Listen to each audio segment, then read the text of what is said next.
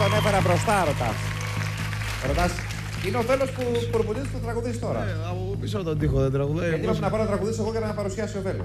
Ξεπεράσαμε Όχι. τον τοίχο. ε. Τι θέλεις; Δεν τραγουδάω καλά. Λοιπόν, κάνετε για να ψηφίσετε το Βέλο. Σου έχουμε μια έκπληξη.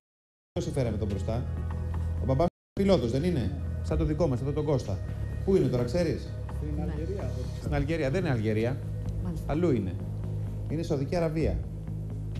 Ναι, γύρνα εκεί να δεις. Ε, γύρνα. Καλησπέρα, αγόρι μου.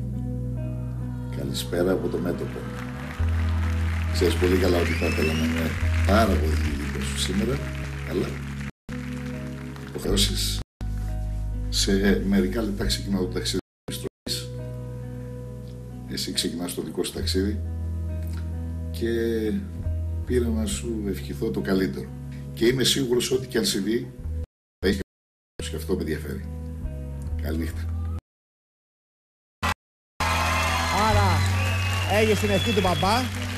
Δεν συγκινηθείς τώρα, συγκινήθηκες; Πάμε το μικρόφωνο, σε ακούω. Συγκινήθηκες λέω τώρα; Ε, εντάξει.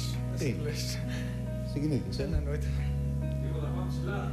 Έλα, πήγαινε πίσω να ετοιμάσεις Πάμε. τώρα να σου φύγει και το. Πάμε Η ψηλά. μαμά πού είναι η μαμά; Η μαμά πού είναι; Μου είπαν ότι είναι και η μαμά εδώ. δεν- Εσείς είστε η μαμά; Εδώ είμαι.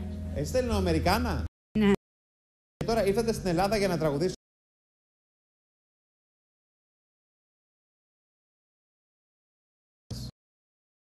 Τι φ*** το βέλος.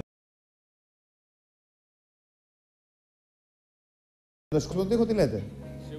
Σίγουρα. Σίγουρα. Εσύ, εσύ τι είσαι, αδερφός, φίλος, τι είσαι; Φίλος. Θα το σκόσουμε. Εδώ είμαστε, ναι. Και τώρα έχουμε και την Εννοείται ευχή του αυτό. πιλότου του παπά από τη Σαουδική Αραβία που τον πετύχαμε εκεί. Είναι στάνταρ, είναι στάνταρ. Είναι στάνταρ. Το πιστεύουμε. Μια χαρά. Μακάρι. Βέλο, καλή επιτυχία!